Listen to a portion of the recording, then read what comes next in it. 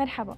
نجحت الصين بتقليص نسبة غاز الكربون يلي يعتبر من مسببات التلوث الأولى عندهم وفقا للهدف يلي حطته قبل ثلاث سنين مضت وهالإنجاز رح يساهم بشكل جدي بإبطاء عواقب الاحتباس الحراري العالمي.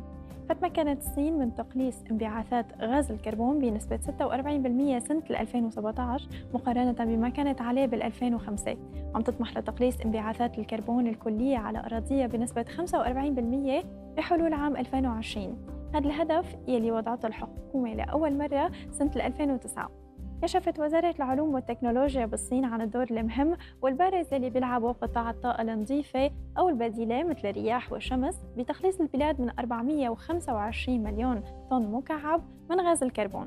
بالرغم من الإنجازات يلي ذكرناها إلا أنه كثافة الكربون بأجواء الصين بعدها أعلى من نسبتها ببقية الدول الصناعية المتقدمة بس بنفس الوقت بتتصدر الصين دول العالم بمكافحة غاز الكربون. نرجع لأخبار طقسنا فعم بيكون غائم جزئيا لغائم وماطر على فترات بشكل عام وعم بيكون مصحوب بالرعد أحيانا فوق مناطق متفرقة. أما درجات الحرارة فبعدها عم تنخفض حتى عم تصير أدنى من معدلاتها بأغلب المناطق السورية. بالنسبة للرياح عم بتكون غربية لجنوبية غربية معتدلة لخفيفة السرعة. عم توصل ل 18 كم بالساعة والرطوبة عم تتراوح بين ال 60 وال 95% أما البحر فعم يكون متوسط ارتفاع الموج ودرجة حرارة المي 18 درجة. رح نتابع سوا هلأ لنشوف كيف عم يكون الطقس بالعاصمة سوريا دمشق بالساعات الجاية.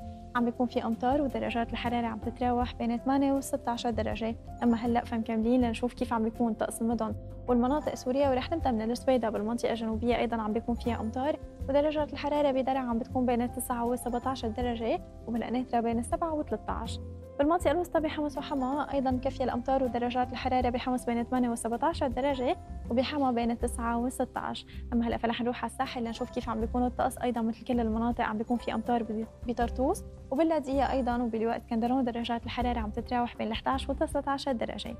بالمنطقة الشمالية بحلب وإدلب مكفية الأمطار ودرجات الحرارة عم تتراوح بحلب بين التسعة وال 15 درجة هلا أخيرا ننتقل لنشوف كيف عم يكون طقس المنطقة الشرقية. أيضا عم بيكون في أمطار مثل كل المناطق ودرجات الحرارة عم بتسجل بمدينة الحسكة الدنيا 10 العليا 13 درجة. أما أخيرا بدير الزود درجات الحرارة عم تتراوح بين 10 و 17 وطقس مكفي ماطر هاي كانت أخبار طقسنا للساعات الجاية. أنا هلأ رح أترككم تتعرفوا على أخبار الطقس ودرجات الحرارة بأهم المدن العربية والعالمية. باي.